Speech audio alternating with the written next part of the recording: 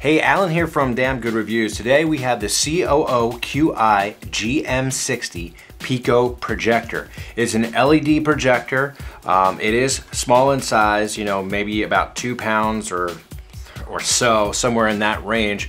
Very small. It actually offers a thousand lumens, but it's only 80 ANSI lumens. So if you're looking for something very bright or something to rate high on the ANSI lumen level, this is not gonna be it. Now we did test it in a few different levels with the lights on. You can kind of see it, not too bad. Dim the lights, really good. Dark looked awesome. So you do have that.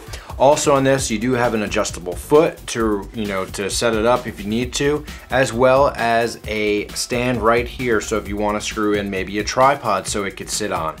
Also, the great thing about this, not only is it a really nice and sleek looking design, um, but it does have a couple different inputs here. We have a VGA, we also have HDMI, USB, USB plus 5 volts. So if you're playing something off a smartphone, you can actually charge it as well so you get enough voltage going through it.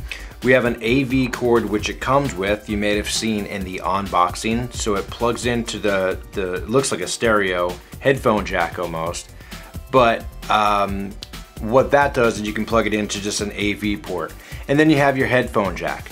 A lot of different options. It supports up to 1080 uh, HD, so it will play 1080 HD. However, the resolution is only 800 by 480 native resolution. So if you're looking for something that's really high-end and HD display, it's not it. But it still does look really good, but you're not gonna be that videophile on the block with the amazing projector.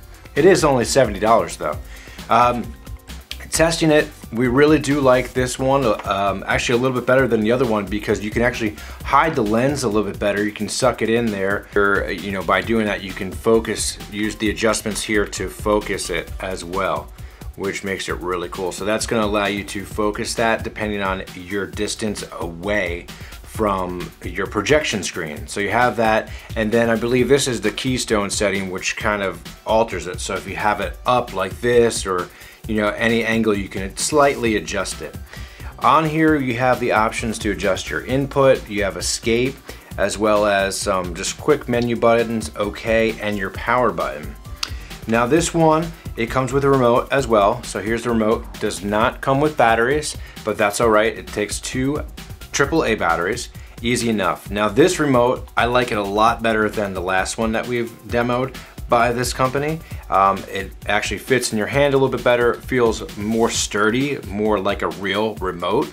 Uh, which is nice. And you have a lot of different options here. Everything from mute, menu, input, um, play buttons, all that. You're okay, escape, zoom, repeat options, info, volume up and down, and your power. So a lot of different things that you control through this.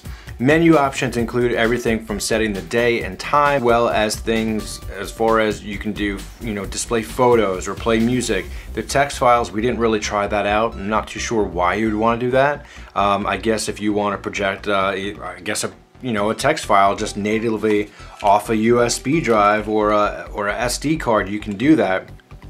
I think you would have it hooked up to a PowerPoint or something like that to a laptop.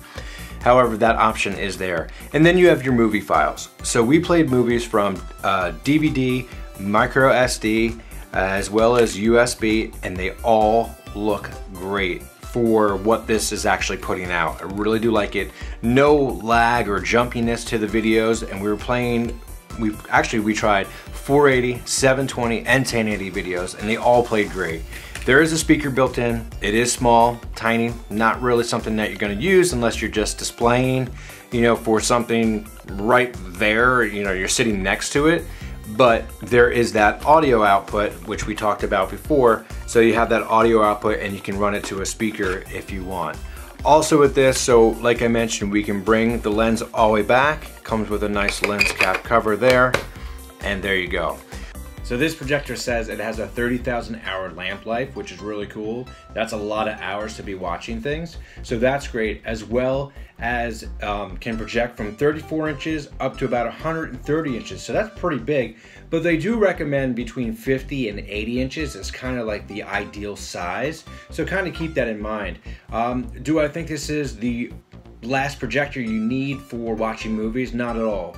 Um, but I think it's good, you know, if you're looking for a projector, maybe for the holidays to do one of those projections in the windows, or even just to watch, you know, some home movies or or just some movies. If you have a nice wall that you can actually lower the lights enough, it, it's going to look great. It's not HD. That's fine. It's all right if you're not looking for that, and if you're not looking to spend five hundred to a thousand dollars.